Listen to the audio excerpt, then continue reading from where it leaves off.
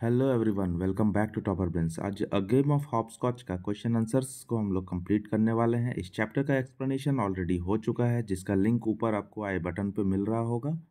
आप description box में भी क्लिक कर सकते हैं लिंक के लिए। और प्लेलिस्ट में भी विज़िट कीजिए, वहाँ पर आपको इस बुक के सारे चैप्टर्स मिल जाएँगे। तो चलिए हम लोग स्टार्ट करते हैं इसका क्वेश्चन आंसर सबसे पहले है true false Tinku had not gone out because she was unwell Tinku बाहर इसलिए नहीं जाती है क्योंकि वो अनवेल होती है तो ये ट्रू है। Tinku was surprise to hear Miri because they were meeting after a long time Tinku surprise हो जाती है मीरी का आवाज़ सुन करके। क्यों? क्योंकि वो वो लोग काफ़ी टाइम बाद मिल रहे होते हैं तो ये भी ट्रू है।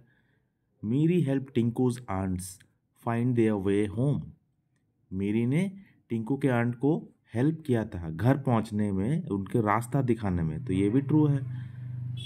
Miri had wiped the chalk marks off the hopscotch court before leaving Miri ने हॉपस्कॉच जो उसने गेम खेला था हॉपस्कॉच का तो उसका जो कोट बनाया था, उसको वो डिलीट कर दी थी। उसको वो मार्क्स को, उसके जो निशान थे, उसको मिटा करके गई थी, जाने से पहले। थे ये तो फॉल्स है, ठीक है?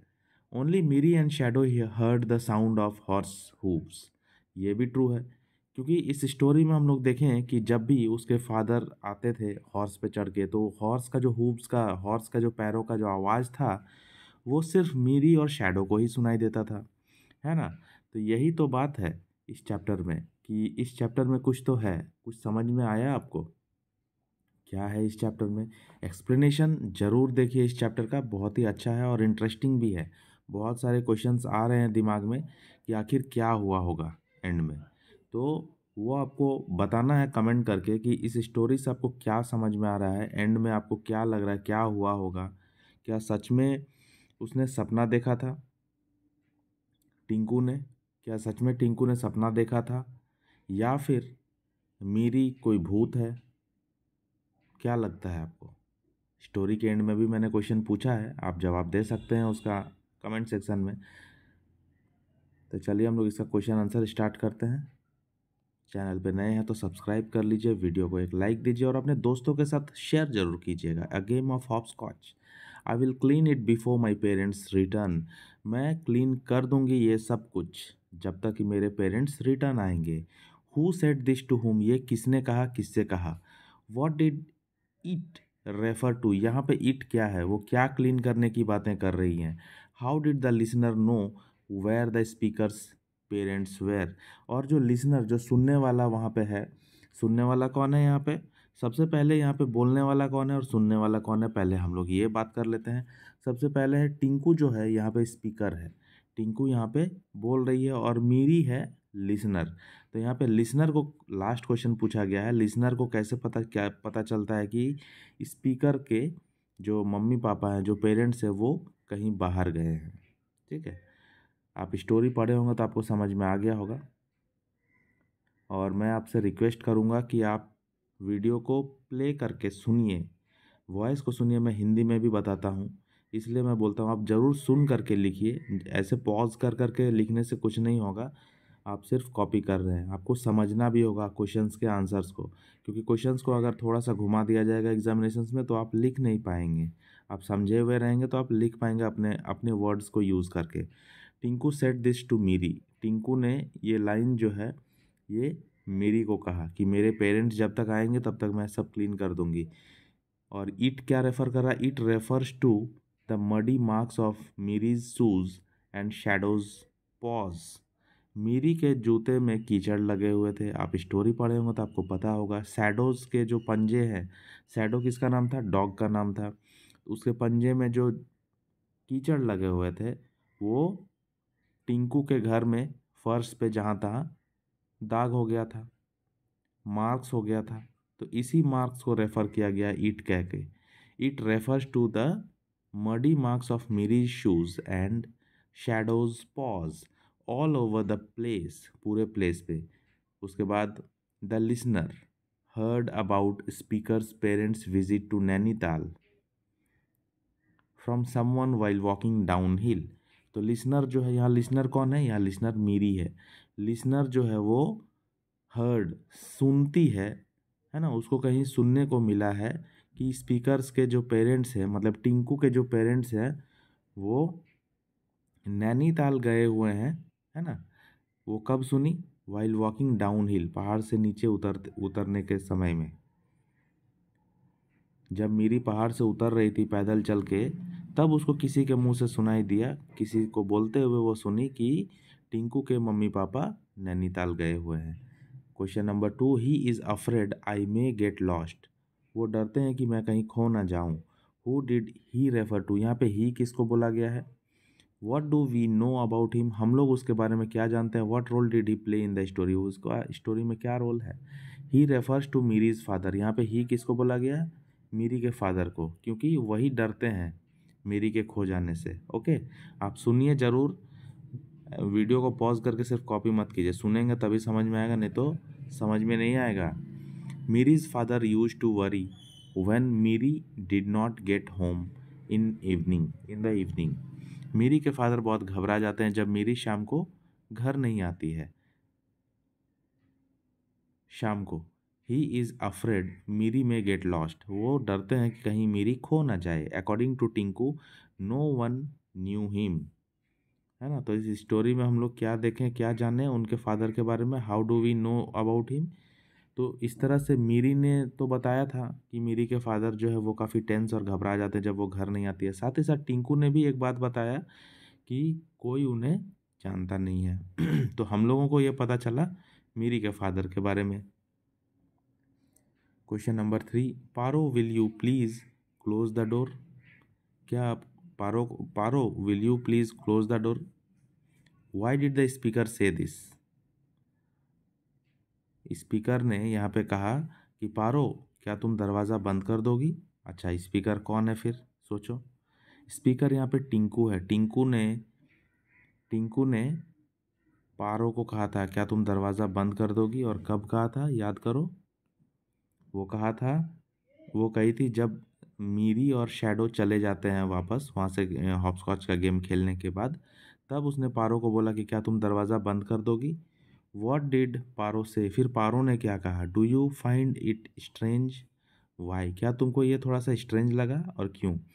टिंकू, जो स्पीकर है, ये लाइन बोल रही है, Tinku asked Paro to close the door and bring the mop to wipe the muddy marks after Miri left Tinku ने, यहाँ पे टिंकू स्पीकर है, टिंकू ने पारो को कहा कि, पारो, तुम दरवाज़ा बंद कर दो और पोछा मारने वाला जो मॉप होता है है ना, उसको मॉप को लाओ और ज़मीन में जो कीचड़ के दाग पड़े हुए हैं, मीरी के जाने के बाद दाग पड़े हुए हैं, उसको मॉप करके उसको वाइप कर दो, उसको साफ़ कर दो। Paro told that she had lock the door in the morning, right after uncle and aunty left. Paro ने जवाब दिया जिसको सुन करके टिंकू काफ़ी शॉक्ड हो गई। पारो ने कहा कि मैंने तो दरवाज़ा लॉक कर दिया था जब अंकल और आंटी गए थे। And also asked where are muddy marks she was talking about और पारो ने साथ ही साथ ये भी पूछा कि कीचड़ के दाग और धब्बे हैं कहाँ? जिसके बारे में तुम बात कर रही हो, जिसके बारे में तुम बोल रही हो कि साफ़ कर दो, आखिर वो दाग धब्बे हैं ही कहाँ?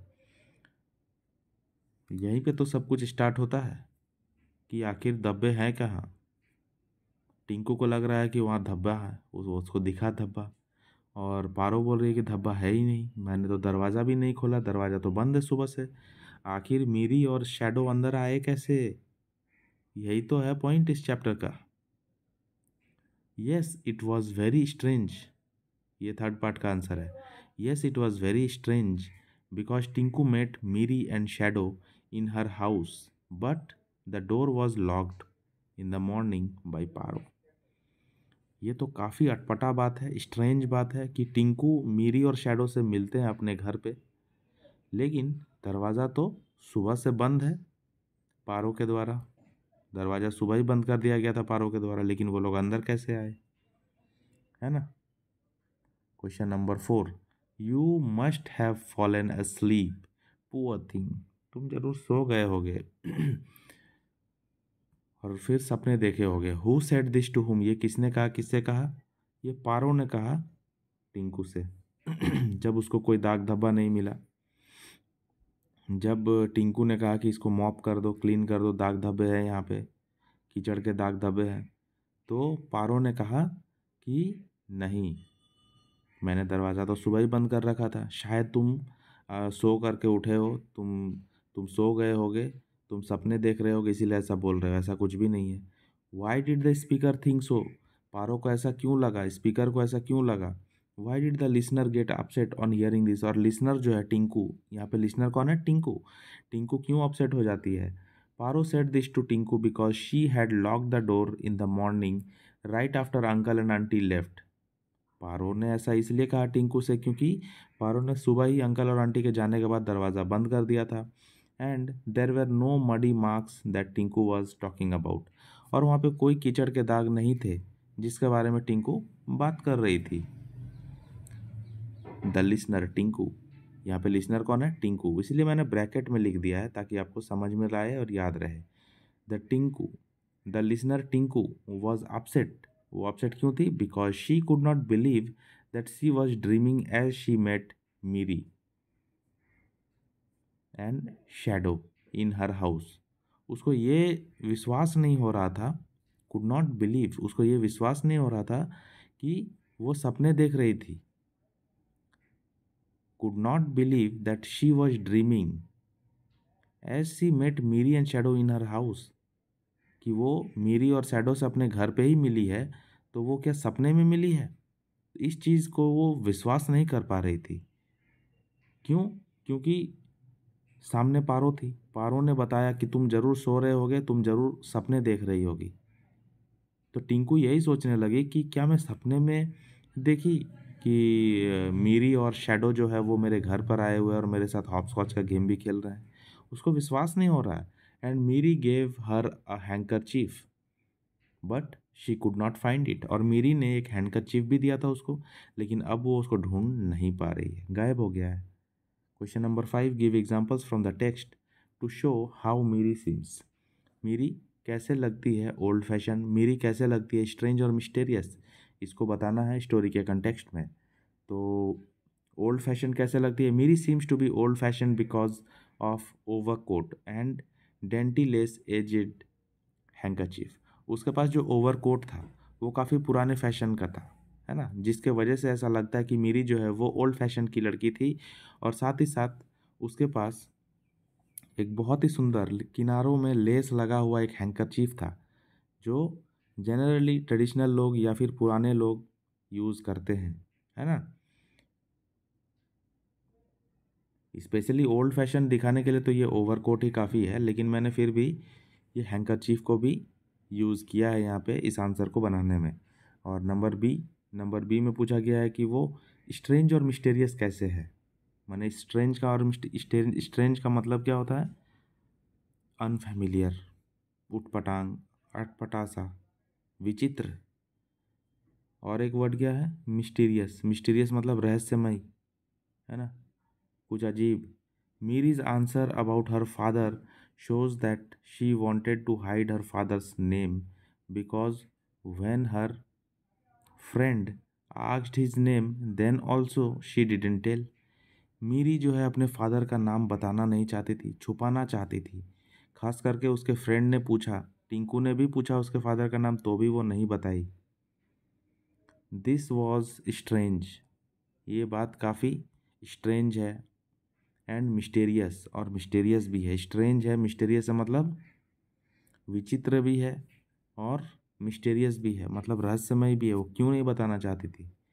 Miri and Shadow could only hear the sound of hooves of the father's horse Miri और शेडो को ही फादर्स का फादर का जो घोड़ा था, उसका पैरों के आवाज़ सुनाई देते थे।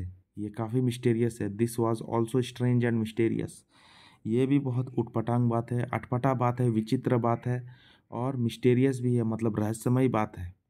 कि मीरी और शेडो को ही घोड़े का आवाज़ सुनाई देता था। घोड़े के पैरों के आवाज़। घोड़े के चलने के पैरों की आवाज़ सिर्फ़ मीरी और शेडो को सुनाई दिया। टिंकू को तो सुनाई दिया नहीं, पारो को तो सुनाई दिया नहीं।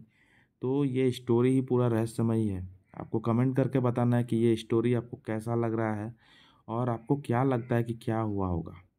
तो चलिए मिलते हैं नेक्स्ट वीडियो में, तब तक के लिए good bye and have a nice day.